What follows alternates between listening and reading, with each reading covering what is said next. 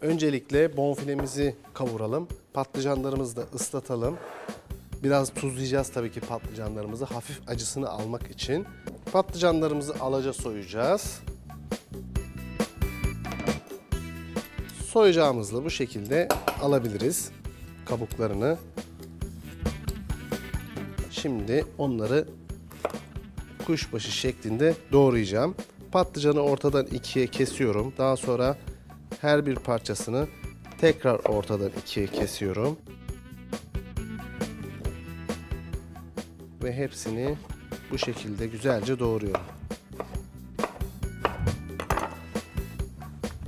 Geniş bir kasenin içerisine alıyorum.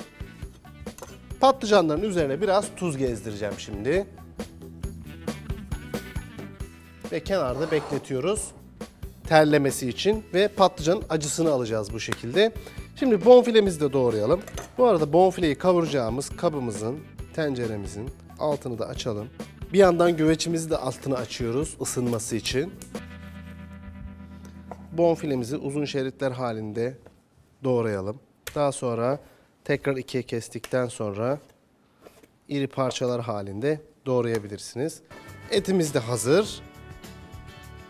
Evet, kuru soğanımızı da hazırlayalım. Evet, diklemesine tekrar ortadan ikiye kestikten sonra kuru soğanlarımızı ince bir şekilde doğruyoruz. Evet, soğanlarımız da hazır.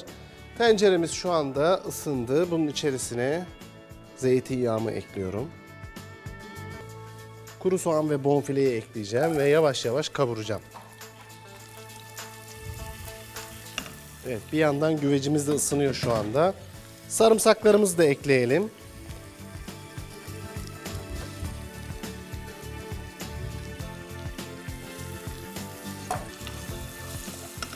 Evet, biber ve havucumuz var. Onu da hazır hale getiriyoruz şimdi. Domatesimizin önce sap kısmını alalım. Ve güzelce soyuyoruz. Evet, etlerimiz şu anda güzelce kavruluyor. Güvecimizi de şöyle kenara alalım. Şimdi zeytinyağı içerisinde patlıcanlarımızı kızartacağız. Yağımızı ekleyelim tavamızın içerisine. Evet, patlıcanlarımızı biraz önce üzerine tuz serperek kenarda biraz dinlendirdik ve terlediler. Şimdi güzelce sudan geçireceğim.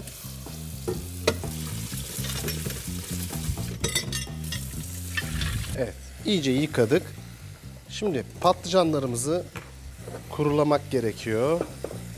Mutfak havlusunun içerisine patlıcanları koyarak iyice kurulamak gerekiyor.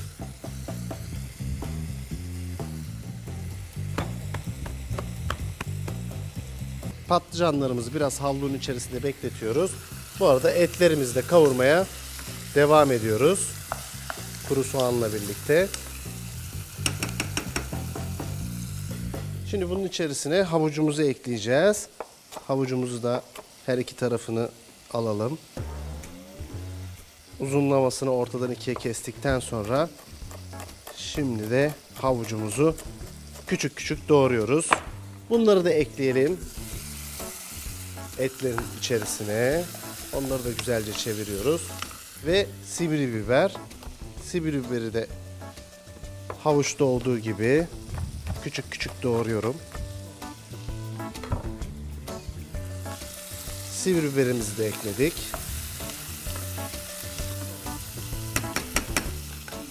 Evet, yağımız da iyice ısındı. Şimdi patlıcanlarımızı güzelce kuruladık. İyice emin olalım kurulandığına ve yağımızın içerisine bırakıyoruz. Evet, güvecimiz de iyice ısınmıştı. Şimdi onun altını da buradan açacağım. Şimdi güvecin içerisine de tereyağımızı bırakıyoruz.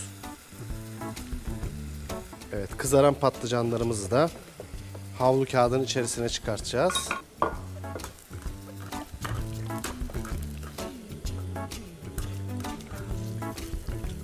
Evet, şimdi domateslerimizi de doğrayalım.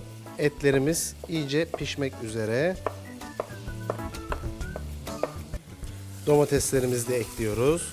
Bezelyemizi de ekliyoruz bunun içerisine. Evet, hepsini güzelce karıştıralım. Bu arada pirincimizi de artık yıkayıp süzebiliriz.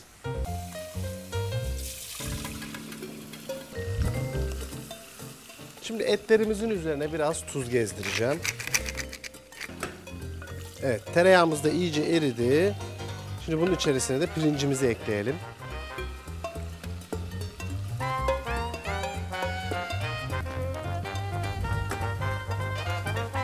Etlerimiz de güzelce pişti.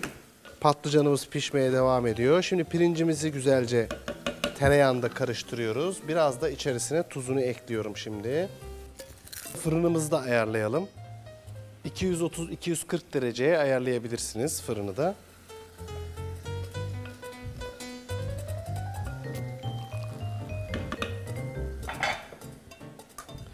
Evet, diğer kızarmış olan patlıcanlarımızı da çıkartıyoruz. Bonfilelerimizi şimdi pirincimizin üzerine döküyoruz bu şekilde kavurmuş olan. Pirincimizin de suyunu veriyoruz üzerine.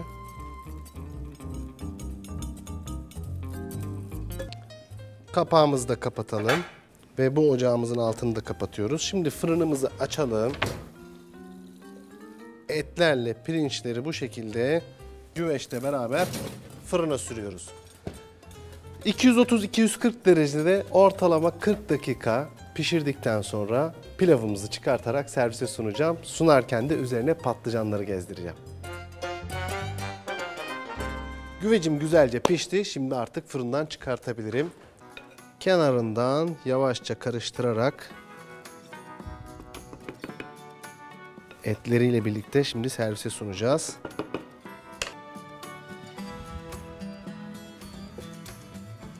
Ve şimdi birkaç tane de bu şekilde patlıcandan koyuyorum.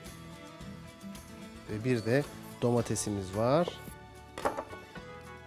Kiraz domateslerimizi de bu şekilde çevresine koyduktan sonra yemeğim servisi hazır.